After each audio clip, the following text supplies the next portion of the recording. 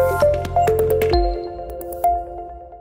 पंचांग और ज्योतिष शास्त्र के जानकारों के अनुसार जानते हैं कि 11 या 12 अगस्त में से किस दिन राखी बांधना शुभ रहेगा। साथ ही राखी बांधने के लिए उत्तम मुहूर्त क्या है? पंचांग के अनुसार सावन मास की पूर्णिमा तिथि 11 अगस्त को सुबह दस बजकर अड़तीस मिनट से शुरू हो रही है, जो कि 12 अगस्त को सुबह सात बजकर पाँच मिनट तक रहेगी।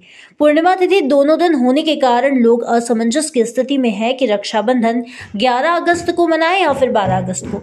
इस संबंध में ज्योतिष के जानकार जानकारों का कहना है कि 11 अगस्त को भद्रा की साया होने के कारण 12 अगस्त को भी राखी बांधना शुभ रहेगा। रक्षाबंधन के दिन बहन की राखी बंधवाते समय भाई को पूरब दिशा की ओर मुँह करके बैठना चाहिए। साथ ही राखी बांधने के क्रम में बहन का मुख पश्चिम दिशा की ओर होना चाहिए। इसके बाद राखी की थाली में अक्षत चंदन रोली, घी का दिया, सबसे पहले भाई के मस्तक पर रोली और अक्षत का टीका लगाए।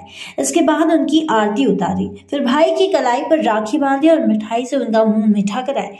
ध्यान रहे कि राखी बांधते वक्त भाई के सिर खाली नहीं रहना चाहिए।